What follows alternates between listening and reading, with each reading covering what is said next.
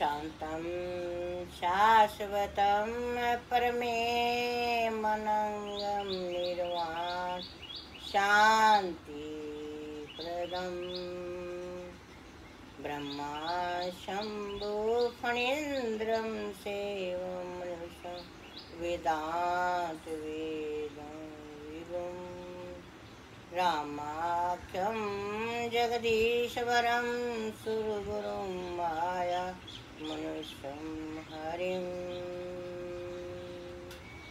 वन्देऽहं करुणाकरं रघुवरं भूपाल चूडामणिं नान्या सप्र्या रघुपते हृदय स्मदीये सत्यं वदामि च भवान् अतुलितबलधामं हेमशैलावदेहं धनुजवनकृशानं ज्ञानिनाम् अग्रगण्यं सकलगुणनिदानं वानराणां दिशं रघुपतिप्रियभक्तं वात जातं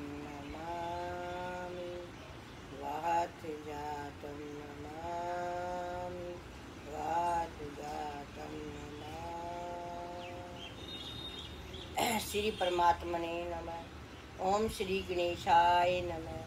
सृष्टि के कण कण में विराजित उस आत्माओं को मेरा प्रणाम आज मैं आपके सामने जागरण और आचरण का संदेश लेकर आई हूँ। ज़िंदगी एक भव्य जागरण है। पहले मनुष्य जंगली था, घास फूस फल खाता था। थोड़ा सा सभ्य हुआ, अन्न खाने लगा लेकिन आज बिल्कुल सभ्य हो चुका है। फिर क्या खाता है?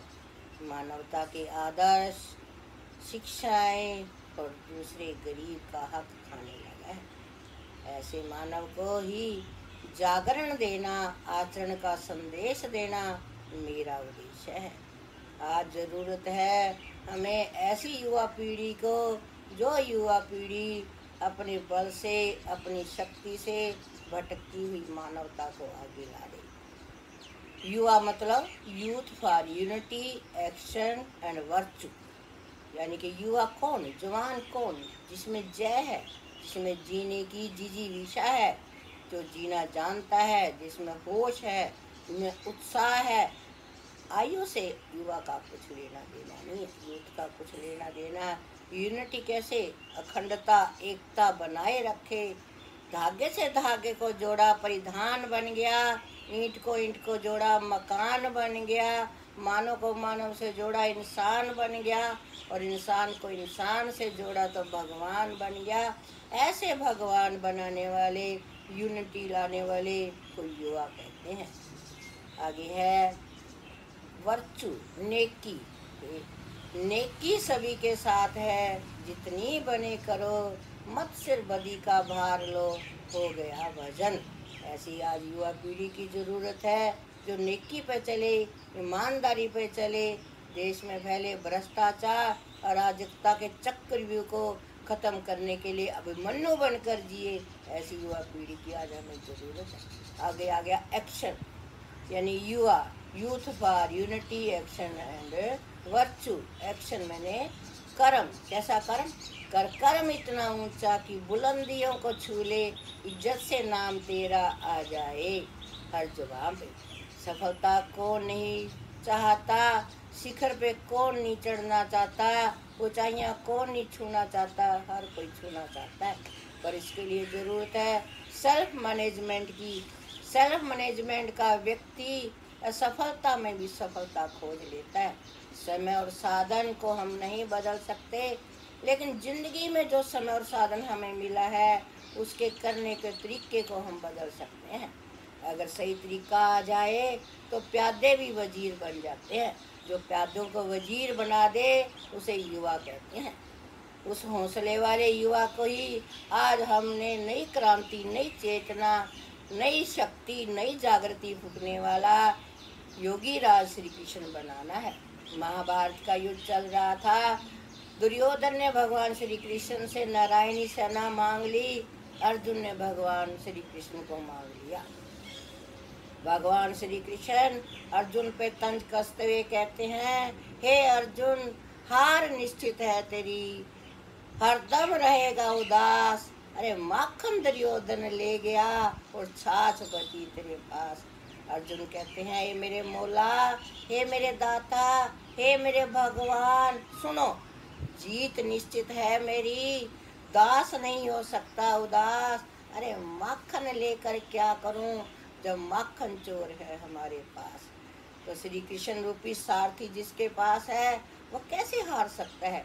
आज हमारी युवा पीढ़ी को भी कर्म करना है, जागरण आचरण का पाठ सीखना है, लेकिन ज़िंदगी के इस रथ के ऊपर सारथी भगवान को बनाना है। कोई भी पाप कर्म करने से पहले उस ईश्वर को याद करना है, उसके आदर्शों को याद करना है। कहते हैं, ज़िंदगी और मौत के दो खंभों के बीच में सांसों की रस्सी बंधी है। इस सांसों की रस्सी पे हर कोई चल रहा है। कोई नहीं देखता कब चढ़ा, कोई नहीं देखता कब उतरा, कोई नहीं देखता कितने सालों से इस रस्सी पे कूद रहा है। लेकिन हर कोई देखता है कि नृत्य कैसे किया। सार्थक और निरर्थक नृत्य। नृत्य हर कोई कर रहा है।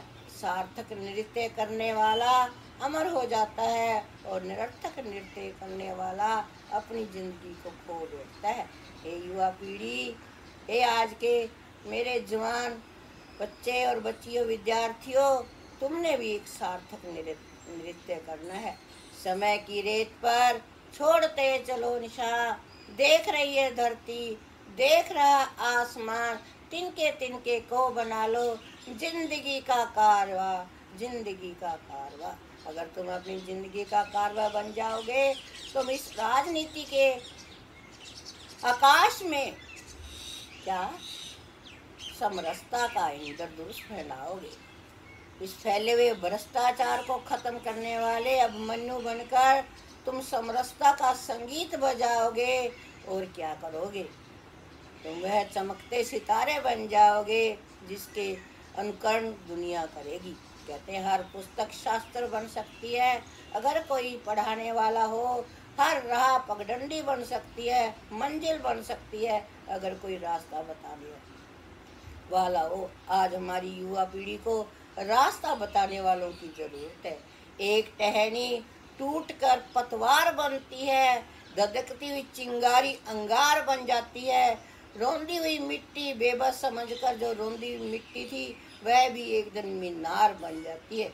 आज हमारी युवा पीढ़ी को मार्गदर्शन की ज़रूरत है, जागरण और आचरण का संदेश देने वालों की ज़रूरत है। ये भी हमारे लिए एक वरदान बन सकती है। आज हमारी शिक्षा नीति है जो थोड़ी सी दूषित है। आज हमारे विद्यार्थी उस घड़े की तरह, टूटे हुए घड़े की तरह जब तक विद्यालय में रहते हैं भरा हुआ दिखाई देता है। जैसे कि घड़ा जब तक पानी में रहता है, टूटा हुआ घड़ा तब तक भरा रहता है, लेकिन जैसे ही पानी से बाहर निकाल दिया जाता है, खाली हो जाता है। तो विद्यार्थी भी शिक्षा प्राप्त करते हुए ऐसी ही शिक्षा को प्राप्त कर रहे हैं, जो उसके जीवन में कोई कार्य नहीं कर पा रही। ऐसी शिक्षा का सुधार हमने करना है। आज हमारे विद्यार्थी उस लिफाफे की तरह है, जिसके ऊपर चित्रित किया गया है। चित्र बनाए गए हैं, लेकिन अंदर कोई संदेश नहीं। आज हमने संदेश देने वाले विद्यार्थियों को तैयार करना है। वो हम कैसे कर सकते हैं? वो हम अपनी योग्यता से कर सकते हैं, नई शिक्षा नीति लाकर कर सकते हैं, उसके कदमों को मज़बूत बनाकर कर सकते हैं। कबीर ज़िंदा रख, जमीर ज़िंदा रख, चूक जाए ज़िंदगी में सब तक, तब भी हौसले का तीर ज़िंदा रख, हार जाए ज़िंदगी में फिर भी जीतने की। उम्मीद ज़िंदा रख, उम्मीद ज़िंदा रख, उम्मीद ज़िंदा रख।